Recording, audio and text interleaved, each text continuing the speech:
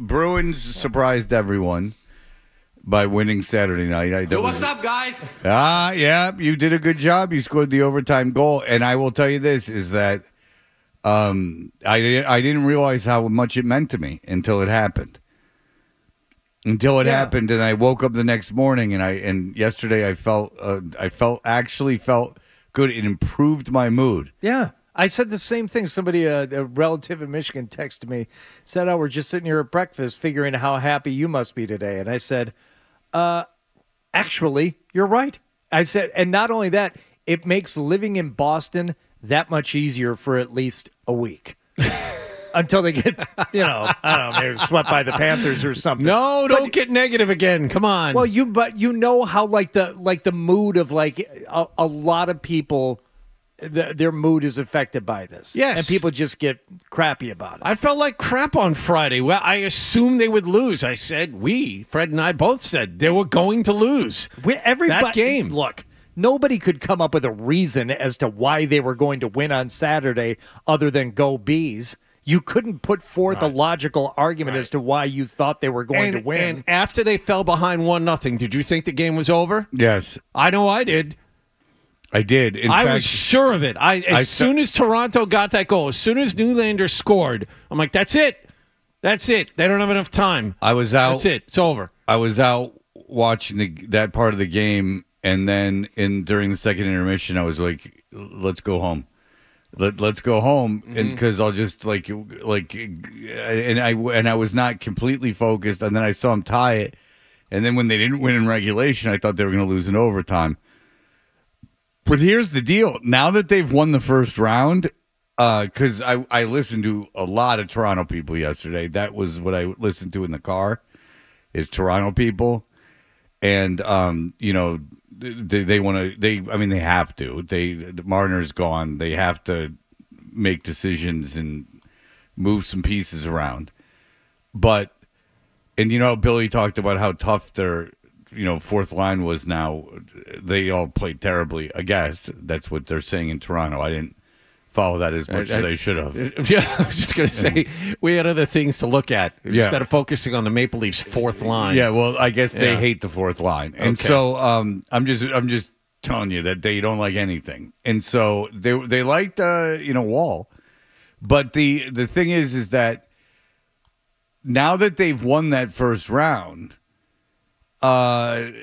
I, I got I got to think that. oh so my point was everyone from Toronto's like you know and then the Bruins are just going to lose to Florida like you know the Bruins won game 7 just so they can go lose to Florida and would I bet on the Bruins to win? I yeah, I mean they're a long, they're probably a long shot. I I would bet on the Bruins to win the series because, but I don't I don't think they're going to win. But I th- I'll tell you this: I like their chances better of, of beating the Florida Panthers than I did when they were up three two in the Toronto series. Because I think that maybe there's a monkey off their back. There's certainly a monkey off Montgomery's back. He hadn't won a clinching game since he was in Dallas. Like he didn't win uh, the last clinching game in Dallas.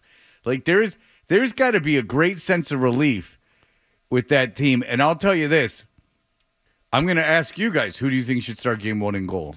That's that's a big question. It should be Swayman. See, I don't think so. It should be Swayman. Look, he's earned the right to play game one. I understand all of the all of the numbers. Linus Ullmark is fantastic against Florida. Was great against them this year.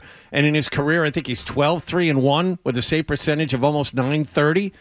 But after what you just saw from Jeremy Swayman, especially those last three games where he single-handedly kept the Bruins in it where they should have lost all three, I you can't sit him okay, down. here's why. Here's why I think you should play Ullmark. What do you think, Hardy? I think you should go with Swayman.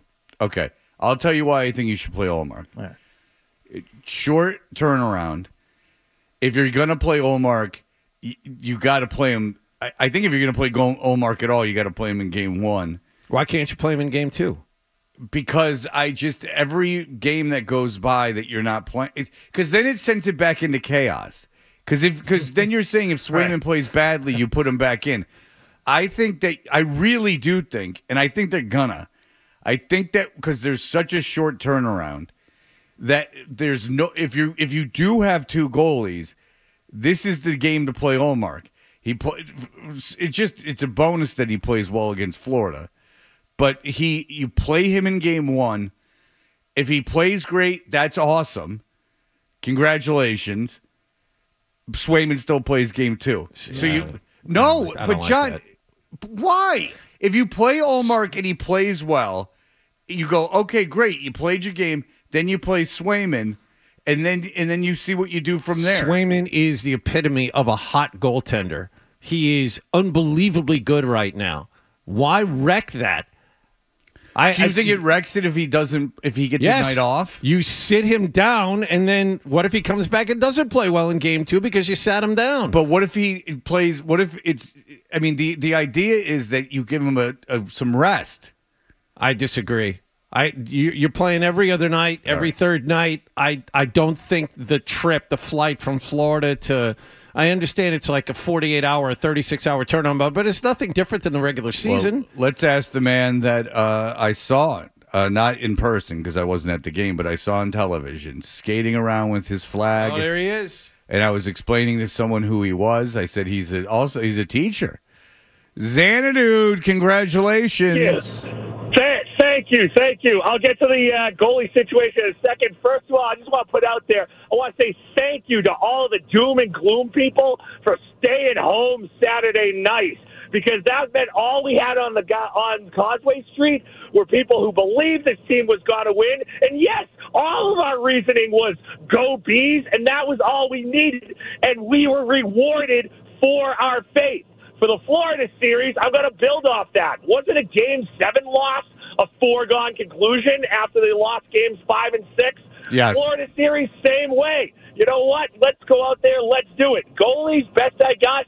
You know what? I'm glad I'm not paid to make these decisions. I say you put Ullmark in or for either game one or game two. You're paying him $4 million. Give Jeremy Swayman a rest. And at the very least, I don't know ask Jeremy Swayman. I, it's not my job to figure that out, but I say put Ullmark in, get Swayman a rest whenever makes the most sense to goalie Bob, Jim, and everybody else. And that is Xanadu, who I saw on television. He was on television. If you don't know Xanadu, wears a, I forget what jer- was, was it Ryder? What jersey does he wear? Uh, yeah, Michael Ryder, 73. Yeah, Michael Ryder Yeah. jersey. He's he wears the glasses from Slapshot, and he just rollerblades around around the entire city with the Bruins flag. Sometimes with the shirt off, depending on the weather. Ooh, I've never seen him with the shirt off. I mean, watching Samsonov and what he did in Game Seven, which I I did a triple take when I saw he was in net. Yeah. like what are you doing? Did it matter? No, I don't, Woll couldn't have done any better than that. And this is like, uh, the thing you would never ever say, Fred. So I'm not saying this. It probably doesn't matter. I don't think either Swayman or Ullmark are going to poop down their pants uh, in uh, in a start either tonight or in Game Two. But Wallach's reasoning to start the whole thing is what I would say. This is what we talk about year after year after year. Teams that make it either to the very end or at least to the conference finals, how do they get there? Oftentimes they're riding a hot goaltender. And you don't switch off just because you had an overtime game and it was a quick turnaround. You just you, you don't. Um, there's there's no need to. And it also kind of puts back on Montgomery some decision making that I don't think he has to make. I don't think I don't think anyone is going to fault him if he goes with Swayman and Swayman is is good enough. It- you, you don't expect him to go out there and pitch shutouts, but if he just plays like he's been playing, there's no reason to go to Ullmark other than other than the rest. And if you want to have his availability at some point in this series, Yeah, and then if you, but I just think that if you don't play Ullmark and Swayman struggles, and then you play Ullmark and you lose game two, you're really up the creek. I, I don't think the extra re- he's sat now for what a week. I don't think an extra two days is going to bother him. No, but no, no. What I said is, if you play Swayman in game one, he doesn't play well, and then you play Ullmark in game two, and you lose that game, then you're really up the creek because then you got a whole, a whole mess on your well, hands. Darren, yeah, you're done. yeah, that series is over. yeah, Yeah, you well, play that's Ullmark in game one and he's lousy. Now you've lost game one and you sat a hot goaltender. If you like that clip, check out more videos from Toucher and Hardy here. For more Bruins analysis and opinion, hit this playlist.